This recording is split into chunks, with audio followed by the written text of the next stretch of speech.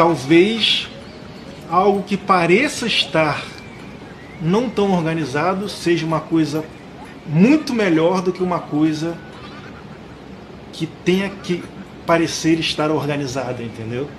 Ah, agora eu entendi!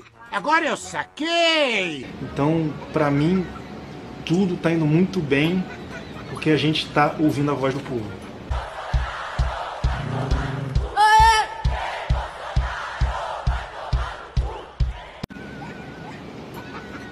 Então, como a voz do povo é uma coisa que não é única, é uma coisa plural, extremamente plural, né?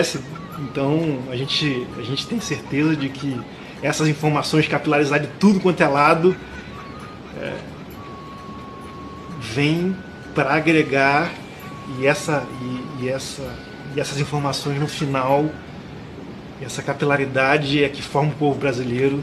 Eu não entendi o que ele falou é que vai formar nossa linha. Isso é bonito demais. Olha como é que eu penso. Filosofei aqui, ó.